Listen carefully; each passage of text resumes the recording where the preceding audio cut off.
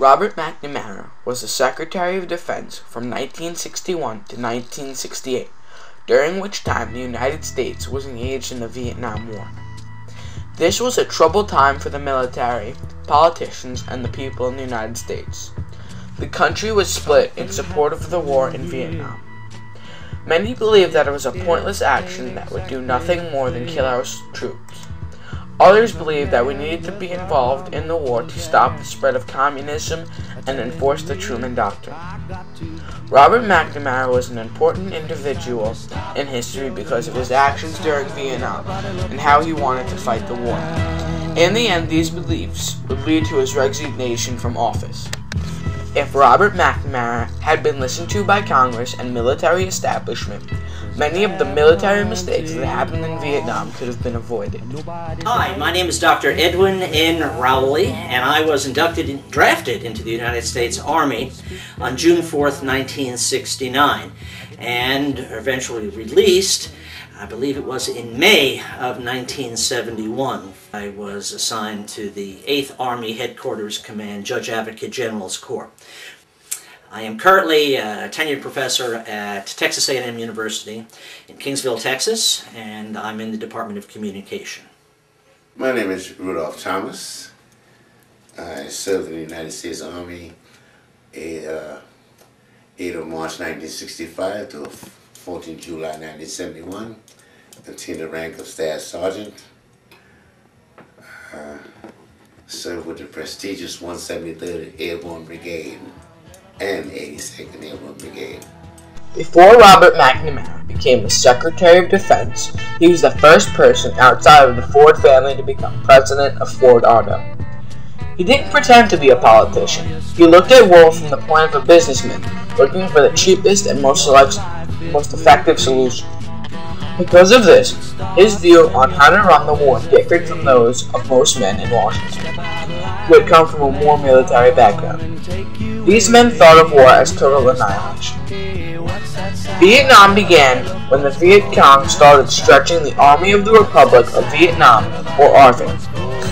At the time, ARVN was being used to police civil disobedience. The South Vietnamese were ready to stop the spread of communism as much as the U.S. So what the Viet Cong did was to spread them out as far as possible. To spread out ARVN, the Viet Cong did things on the far reaches of Vietnam so that ARVN wouldn't have a central place to operate. Because of this, in 1950, the U.S. started its involvement in Vietnam. The United States was first involved only as advisors to ARVN, but later, on August 4, 1964, after a North Vietnamese boat fired at a United States ship in the Gulf of Tonkin, America sent their troops completely into Vietnam to help. The, the United States also needed to protect their trading interests in Southeast Asia. The United States had rubber factories as well as oil refineries in Vietnam. If Congress had decided to leave Vietnam alone, they could have been sacrificing billions of dollars a year in oil, rubber, and nickel. Lastly, Vietnam was very profitable for American companies who received military business contracts. The way the U.S. started off the war was by putting limited troops into Vietnam to help. But after many losses, generals pushed to have as many soldiers as possible put into the war to enforce their power sternly. This is shown by a memorandum written on December 6, 1965 to, President, to the President from George McBundy, who wanted to add 600,000 more troops. Nearly two years later, it wasn't working because the Viet Cong was smart, and McNamara knew this. This was the wrong way. Of 1967, he wrote a memorandum to the President stating three alternative attack methods in Vietnam.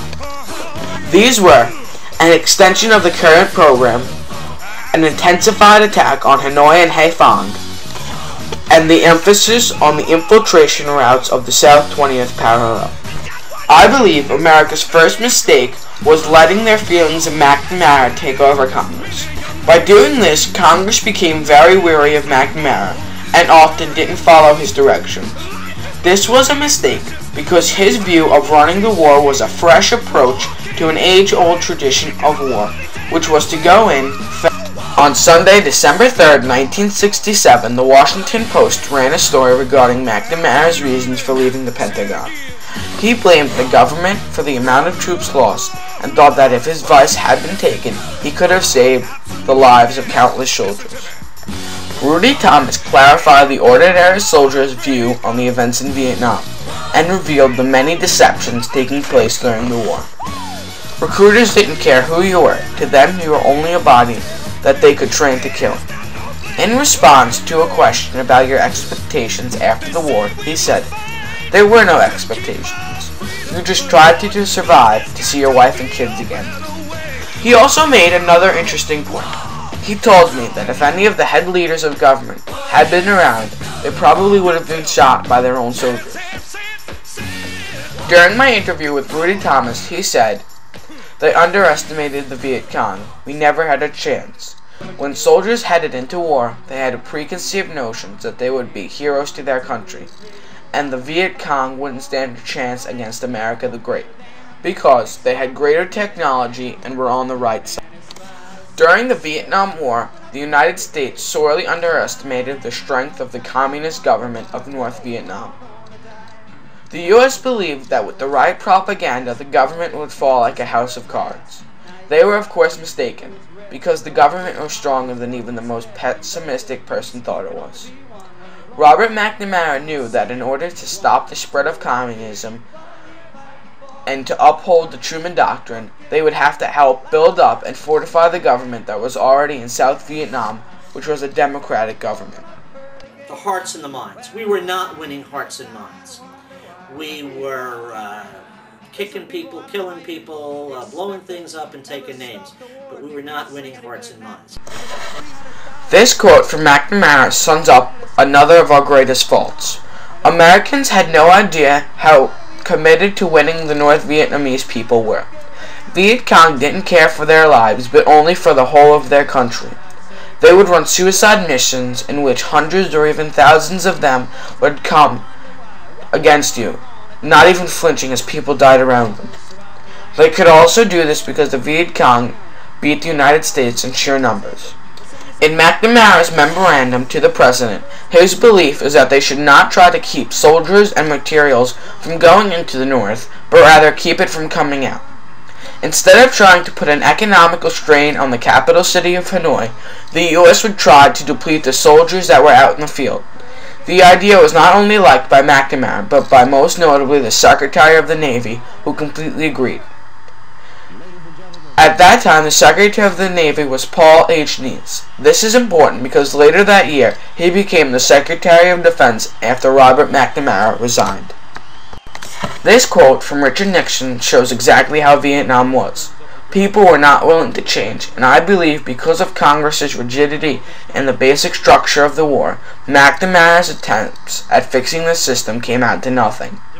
After Vietnam, McNamara knew there was no way to change those set in their ways and resigned. In the end, Vietnam was one of the worst losses in U.S. history. They lost 58,000 good men who were fighting for their country in a war which many believe shouldn't have been fought.